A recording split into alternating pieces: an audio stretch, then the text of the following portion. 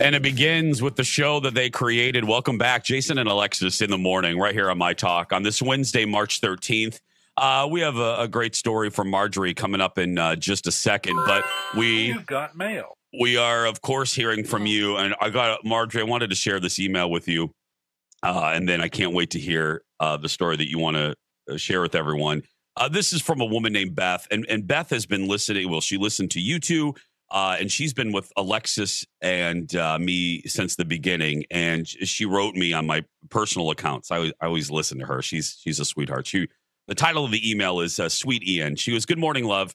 As I tuned in this morning, that opening brought me back to 2005 and my carpool to school. Ian and Margery did a bit called Happy Boy, and we would always be in the van when it aired. Jordan uh, would have been in third grade, Jordan, her son. And I learned at the first parent teacher conference that Jordan uh, would arrive at school, gather anyone who he could gather, and tell them the happy boy story or joke. He felt strongly. He felt strongly at age 10 that the day should start with a laugh or something uplifting, and that came from Ian. Uh, he is 27 now and is the absolute life of the party. I don't think all of you at my talk know what the shows bring to us listeners. But this sweet story brings a tear in, uh, to my eye, and I needed Margery to hear it. So, oh, that's wonderful. Isn't that great? That's wonderful. I have to say, so um, Ian's funeral was on March 3rd, and um, my boys, it was a traditional Episcopal funeral service. So the boys each, the the rector told me you can have one person before the funeral starts, and um, they can speak for five minutes. And uh, I said, "How about two at two and a half minutes?" And she said, "Look at you producing, producing every moment. Oh, I yeah. love it." And uh, she said, "Fine." And so um, my son Campbell, they both did beautifully. I mean, that's a difficult position to be in. Um, but my my son Campbell focused on Happy Boy in the two and a half minutes, and, and he focused on Ian's originality. Ian was original. He would stay up often till one or two in the morning. I was long asleep writing jokes. He would write his own jokes. He loved to write jokes. And so in the in the two and a half minutes that my son Campbell had to talk about his father, he said, So dad, in honor of you, I'm gonna write and he talked about Happy Boy, I'm gonna write an original joke. And it was just it was just so sweet that even he remembered that Happy Boy originated because Ian couldn't say goodbye to the boys in the morning. He was here in the studio. And that was his way of saying goodbye, goodbye to his own sons and sending them off to school with a smile. So I love that that Beth's son uh, had the same had the same yeah. reaction. So that's wonderful. Thank you, Beth. That's very sweet. And I'm sure Jordan. Uh, I'm sure there's a whole. He's not alone. I'm sure there's a, a, every kid that listened to you guys back then who's now an adult. Um, uh, was affected by in one way or the other. It was a great uh, bit. It was a great bit. Yeah. yeah, but uh, you said the best bit he's ever done was on April Fool's Day. Oh, he would get me. I mean, I'd like to think I have a bit of a brain. I don't think I'm the smartest person in the room, but I also don't think I'm, uh, you know, and but he would get me every April Fools. And really, um, yes, I remember. And yeah. um, the best was, I think, probably around 2010, 2011, maybe. I can't remember the year exactly. Um, when Fifty Shades of Grey came out. Oh, okay, oh, no, the I just have to set up. Okay, we are a, a, a talk station for women. Yeah. A lot of women work at this radio station. The women at this radio station went insane when that uh, book came out. It, it was Julia. a whole podcast about it. podcast. We were all reading it. Yep. Mm-hmm. The cafeteria conversations. People were talking about their sex lives. I'm what, what is happening here? So E.L. James was the author of Fifty Shades of Grey, and Ian and I were a little bit competitive about booking, and we had producer Emma then, and so we're all like, Ian had some contacts at Random House. I think it was through Random House. I thought I had some contacts somewhere. So we the race was on like who's going to book EL James. And so Ian, this started in January. Like I'm going to get EL James. I'm like no, no, no. I'm going to get EL James. So we're competing with one another to try and book her.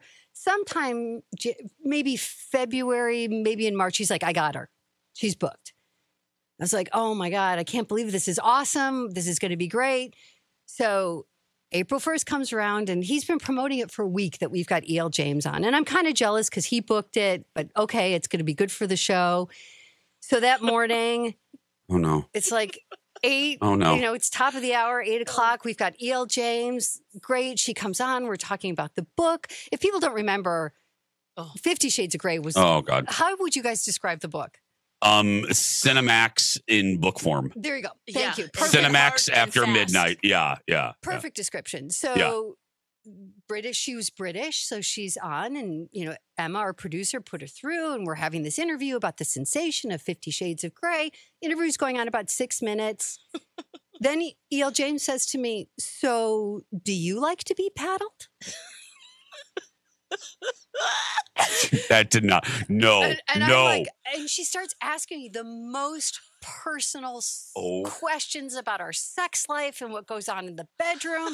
no, until I'm Margery. just, I'm, I can't even talk anymore. And then Ian just says, April Fools. no.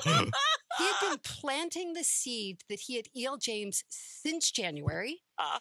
He hired a British actress or an American actress with a decent British accent Yep. to pretend she was E.L. James. Oh. Totally got me. And and our producer didn't know either.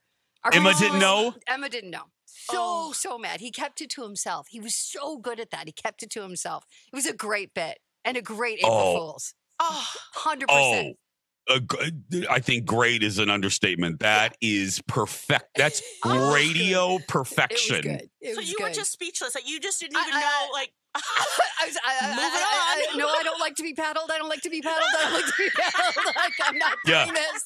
I'm Did not you- doing this. did you did you did you know uh, when she said the paddling the first question oh, did you think she was serious like you didn't catch on right away right Oh, no. No, because if you read the book, you would yeah you would think she's a little totally wacky. She's going to go here. She's going to go here. It and she's crazy. a little she's a little nutter butter so Yeah. yeah, it about probably would be yeah handcuffs? Well, I wouldn't know It's a because I never talked to her. yeah uh, true very yeah Oh, Oh, gosh. It was good. Margery. It was good. He was so good at getting people. I will never forget when you guys were broadcasting from the Metrodome. Yep. It was when the movie Up came out. oh alexis And they did this whole promotion. Do you remember this, Jace? There was a. i have pictures of it You okay? We need to share those because there was oh this. So it was really actually brilliant on the part of the uh, you know PR crew and, Yeah, and Up because It was a great promotion. great because there were balloons. You sat in this little armchair. It went up to the top of the Metrodome and then went back down. So you kind of got the feeling of what the house would feel like. And wow, this is great. And no one would go up and do it except this moron right here. Yeah. This guy right Put here. Put me in the chair. Put me I in the was like, chair. I'll go lex look in the lex look in the camera Oh, there it is. Okay. i have a picture of you in there yeah. I mean, we're it's, Yeah. it was high. We were going to the top of the Metrodome. So I was like, okay, yeah, I'll do it. And so, you know, Ian's like, perfect. Here's a wireless mic. We're going to talk as we go up. And at some point, I couldn't So hear you guys. on the air. Oh, we're we're live. live. on the air. Okay. Live on the air. I'm floating up, and I'm just like, wow, look at this. And at the top of the Metrodome, I just remember these huge baseball cards. like that were like on the wall and I was like, look at there's Kirby Puckett and you know just kind of just and then all of a sudden I hit the top and I'm there for a little bit and I could barely hear what's going on because the wire the, wi- the headsets weren't wireless and I'm I'm looking down and all of a sudden all of the lights in the Metrodome go off. oh my God. Everyone below me, including the woman that is holding the rope of the Oh. balloons, Paul Black too, get up. me Jace, you were Ever- there too. Yep. No, you I mean. I did. I Oh, I'm wasn't on it too. Oh yeah, oh, yeah, James yeah. too. You guys get up and start walking out the door. and I'm at the top going, um, hello. Do you forget somebody? And for like a good, I, it felt like 50 minutes, but it was like two minutes of being up there. That was, s- that is unbelievable. and I'm just, and so I'm just kind of like, just airing out all of my anxiety. You're Sitting sitting in the dark Yes. at the, at the oh, m- oh and my I'm, gosh. I'm just realizing, like, okay, well, do I have to like go down this tiny little rope? Is Ian still talking Do to I you at this to- point, or are we just ignoring you up We're- the dark? Oh. We're ignoring her. completely ignoring me. We're laughing. I'm I'm, screaming. you're Alexa screaming, and Ian is laughing. So Ian's on the show, Yeah. and you could hear if Ian if Ian's talking. This is what you can hear in the background, which got us laughing even more. You can hear the faint. You can hear Alexa going like,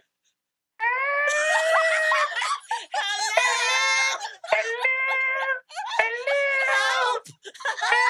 Are you gonna leave me up here? and where Ian is laughing so hard because she's up there and Ian eh, Oh, just like Alexis said, Ian had convinced everybody, and even and Margery, you know this. Publicists and PR people are persnickety and they Oh, want yeah. everything Oh. to be perfect. They just want their message delivered. They don't want shenanigans from local Right. morons.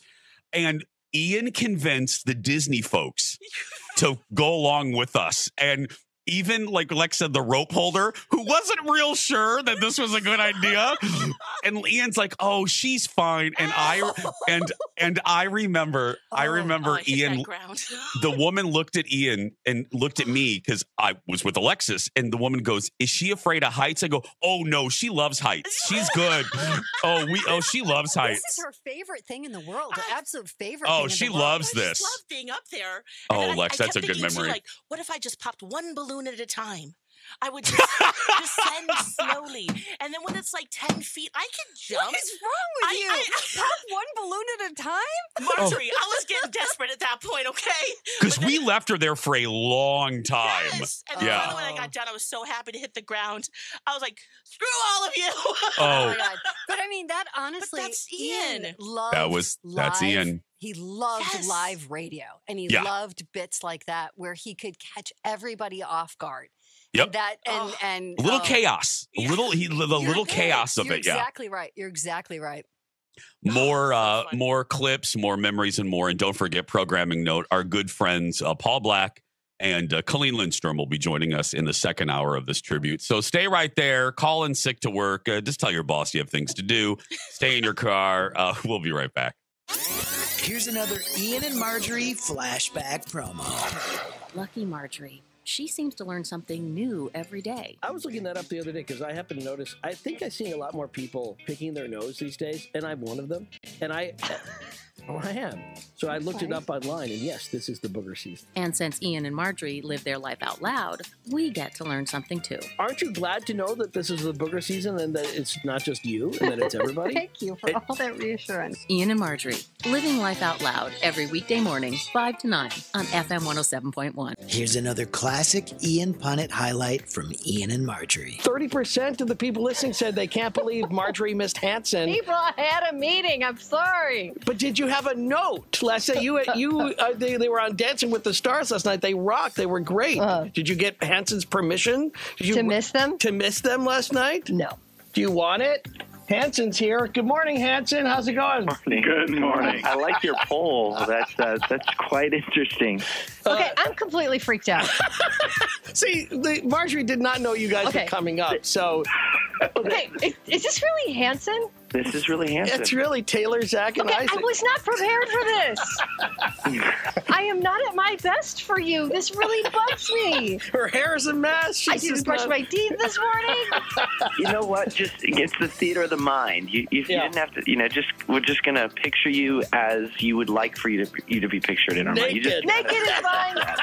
Naked Go is naked. fine. Remembering Ian Punnett all day today on My Talk 1071. welcome back.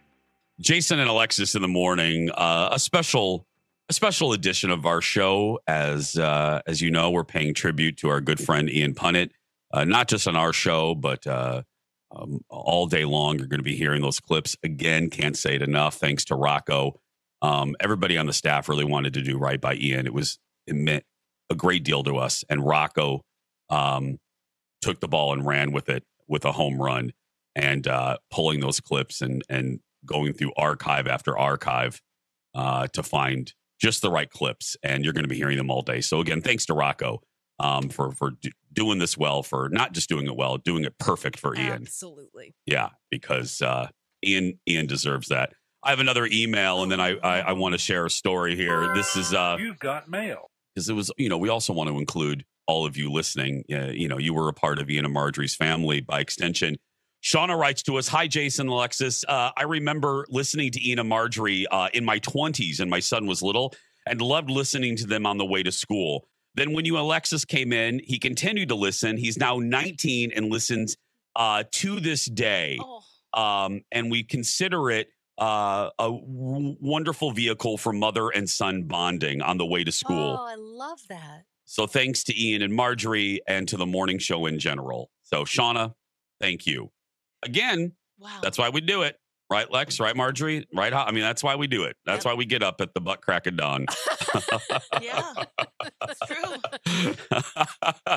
I um I know Lex uh, feels and I, I- Ian passed away. I was gone and I I realized Colin reminded me I, I haven't been able uh, I didn't uh, I, I haven't had the opportunity to say anything about Ian because I was gone for my holiday break uh, when Ian passed and um and Lex I don't know if you shared this at this story but Lex and I feel very much the same way in different in different versions about Ian and what he personally did for us. And I shared this uh, in my Facebook post, but um, yeah, I can get through this. Um, It's all love here, buddy. Yep. Um, the morning show, Lex and I moving to the morning show. Um, it's not an overstatement to say it wouldn't have happened without Ian. And I'm not talking Ian and Margery leaving the show. Um, I'm not talking about Ian, uh, unfortunately, having to leave the show because of health, re- you know, um, because of his ear. But I'm talking about a level of generosity that you uh, don't often find in just normal life, and you certainly don't find in in the competitive world of our business. Mhm. And I, I haven't said this. Uh, I, I maybe said it once or twice, um, but Lex and I were brought in way before the public. Um, we knew. I think. I think even before B. Arthur. I think. I think before official conversations were had. Ian at the state fair pulled Alexis and I separately, or I think together, to tell us that um, there was a strong likelihood that we that Margery that the Ian and Margery show was going to be wrapping up, and he had known that I was at the end of a contract with uh, TV with Fox, and he had gotten wind of that, and he pulled me into our nasty little Kmart tent at the fair. That's our nasty. It was, yeah. That's what it really what it was. It was the best, nothing but the best. But he pulled us into our unair conditioned, mosquito infested tent at the fair, and he said, uh, "Hey, come here." And I thought I had done something. You know, I thought, "Oh God, did I say something? He's going to give me some advice, or you know, what what did I say? And you know, what did I do? Is he going to warn me about Lori and Julie, or what is what is what's going to happen?" So yeah, is he going to tell me?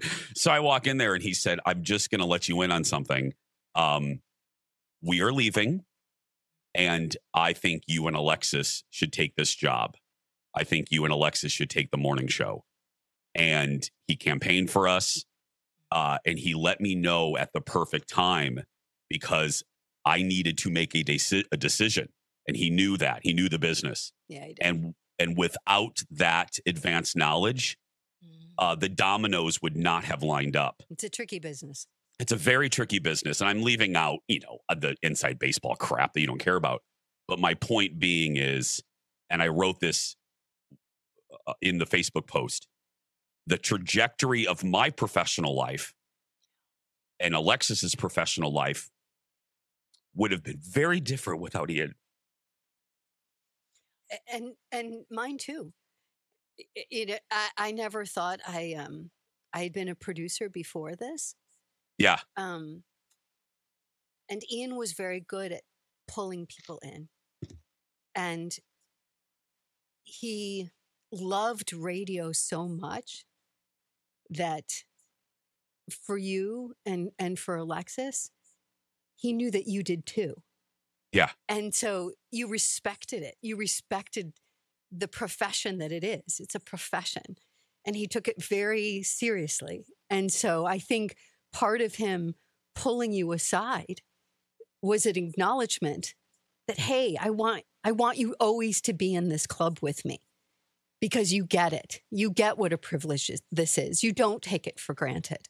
And so, you know, that in the sadness, he he left the show because of tinnitus. His he just had terrible buzzing in his ears, and amongst uh, um, he also had um, and we didn't talk a lot about it at the time, but he had um, I can't even pronounce it, but he ha- he was just had this chronic headache, and so the combination of those two things was very hard Mm. to spend four hours a day with headphones on. oh on. god yeah And um, But what br- what brought him such great joy was mentoring. He loved that. He loved seeing people who appreciated the gifts that they were given and how to make those gifts blossom and get bigger and and so I think that brought him great joy that the show that we had worked so hard to build could be passed on to somebody who equally appreciated the opportunity, which both you and Alexis did.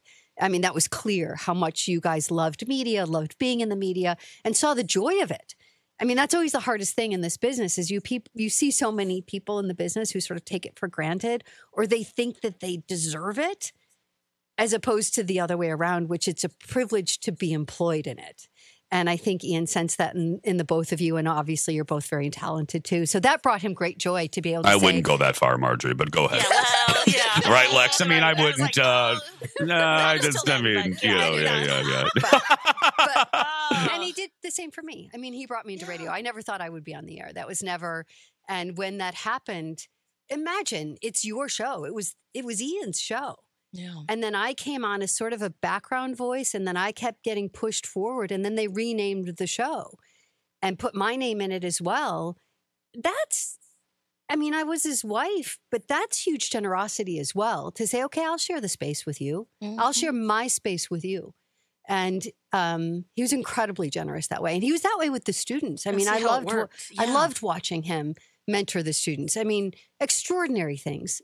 He did extraordinary things at K State with those students, Well, and he so had just such a way of honing in. You felt like you, you're in a crowded room, but you felt like the most important because he just had a way of just Yep. like listening in a way that um, many people don't have, you know, and to to be able just to hone in and go, okay, well, here's how I see this, and why don't let's. Uh, uh, just a whole different way of thinking about it, where you're like heated and just like, oh, I want to burn something down, and then Oh, oh, oh, wow. Oh, wow. You know, like, what- This, this, what just happened? I'm wow, I, I, I don't know. I'm just How- Go with it, Margery. We just go with it. Just go with it. Yeah, we just go from zero to arson really Thank you. quickly on this Yeah, show. Margery. It's just it's a it's one of her aspects now. She just yeah. Holly has the dart gun. We just yeah yeah. Yeah, and I matrix. Whoa, I can Yeah. backbend like crazy Uh-huh. now, Margery. You should see. But to just hone in on that and just kind of say, well, how about we see it from this angle instead? That is Right. such a gift. Right. And Yep. he was very giving and genuous with with that. Absolutely. Uh we Lex, I swear. God, You know it I'm went. I'm picking him up six for I just never thought the Ian P, uh, Punnett tribute would include arson, but here I we didn't are. There we go. Yeah, Colleen and Paul Black joins the conversation Oh, with next. Live from the My Talk 1071 studios. Uh, hold it. Hold, uh, where'd the little kid with the cute voice go? hey, things change. Teenagers' voices, radio station names, but one thing's still the same. My mom and dad's awesome radio show. So let's try this again. Live from the My Talk 1071 studios in St. Paul. And my mom's room down the hall. It's Ian and Margery on My Talk 1071.